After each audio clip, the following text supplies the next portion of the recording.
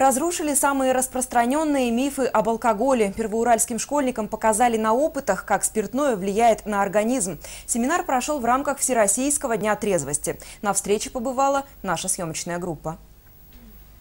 Вместе с ведущим семинара путем рассуждений школьники разрушают миф о том, что в спиртном минимальное количество калорий. Примерно 20 минут придется делать физические упражнения, чтобы сжечь калории, которые содержатся всего в 100 граммах. Школьники делают вывод – алкоголь далеко не диетический продукт. Пить полезно для аппетита, алкоголизм – это не болезнь, спирт входит в состав лекарств, а значит помогает организму. Все это стереотипы, которые в ходе экспериментов и логических размышлений с легкостью опровергаются. Как и тот, что спиртное убивает клетки головного мозга. Для опыта берется яичный белок и спирт. Увидим, что же произойдет с белком. Собственно, то же самое будет происходить и с нашим мозгом. Белок уплотняется и на глазах становится мутным. Миф разрушен. Алкоголь не убивает клетки головного мозга, но пагубно влияет на них. Для того, чтобы напрочь отбить у подростков желание брать в руки спиртное, организаторы пригласили эксперта, председателя отделения организации «Общее дело». Вячеслав Бальцевич уверен, личный пример – самое главное в его работе.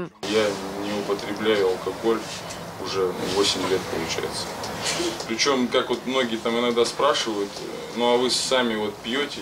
Не пью. А вообще, вообще, даже по праздникам, даже по праздникам. На Новый год даже не пью еще, даже Новый год. Ежегодно по причинам, связанным с алкоголем, в России умирают около 500 тысяч человек. Такое число людей сопоставимо с количеством населения небольшого города. Статистика заставляет задуматься. Я никогда не пробовал алкоголь и тоже не курил, но для меня сейчас оно стало еще более таким отвратным, то что это сейчас вот ни, ни при каких обстоятельствах э, я вряд ли когда буду это пробовать. В рамках встречи школьникам напоминают и о вреде табакокурения. Показывают фильм, который адаптирован именно для них. Как правило, подросткам свойственно пробовать все новое и запретное. У нас достойный результат будет потом, лет через 10, когда вот эта вся молодежь, она поймет вот эти вот вещи, в которых мы в свое время не успели разобраться вовремя, да, и у них будут большие, крепкие, здоровые семьи с большим количеством детей. Вот это будет результат.